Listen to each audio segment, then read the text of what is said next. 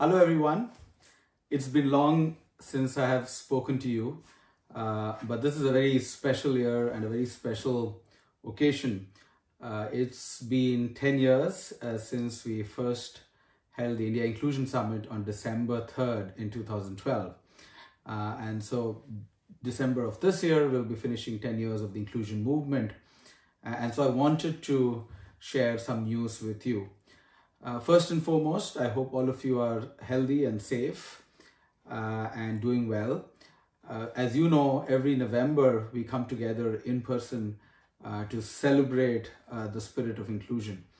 Uh, and we've thought long and hard about it, and we realized that we would rather postpone the India Inclusion Summit this year to next year because we really wanted to meet all of you in person uh, we realize that in a digital world, um, uh, we will not have the same experience as we always did. So first and foremost, this year's India Inclusion Summit is moved to next year and I hope that we can have a big 10-year celebration next year in person.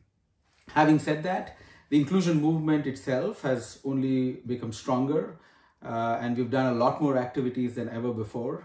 More importantly, we decided to focus entirely uh, our efforts entirely on supporting people with disabilities who've been affected uh, by uh, COVID. And so we identified 67 people uh, who have either lost their caregivers or have lost their uh, jobs.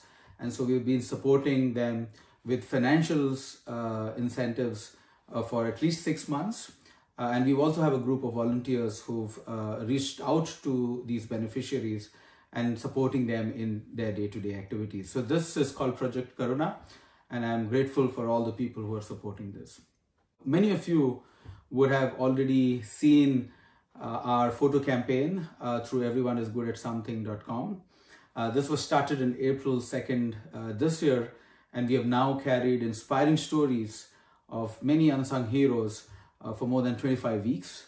Uh, there has been a great team of volunteers who have come together to make this happen. The idea of uh, everyone is good at something was to showcase stories of people with disabilities throughout the year. Uh, and if you haven't subscribed to it, I would be grateful if you can go to the website and subscribe to Everyone is Good at Something. Uh, one of our key insights was to make these stories available in regional languages. And I'm happy to share that uh, we have now made the portal available in three regional languages, uh, Hindi, Bengali, and Tamil. Uh, we will soon be launching the Malayalam and Kannada version in the coming weeks. Uh, so please read and share these stories uh, in your network. And last but not the least, we've always believed that the fellowship is really a core pillar of the inclusion movement. Uh, and we have two of them. One is the Art for Inclusion Fellowship, and the other is the Inclusion Fellowship where we support entrepreneurs who are working in the disability space.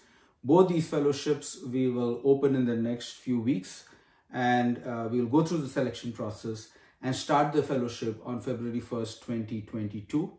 Uh, we plan to do this virtually for the first four months and then uh, meet these inclusion fellows in person for IIS 2022.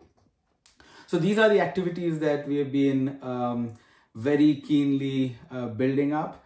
Uh, as I said, um, it's um, it's a it's in, in, some ways we are sad that we couldn't meet all of you uh, in November uh, this year because it seems like an annual pilgrimage for many of us to be at the Inclusion Summit.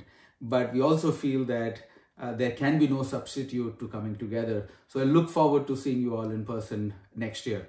Until then, stay safe uh, and have fun and I look forward to seeing you all soon. Thank you and goodbye.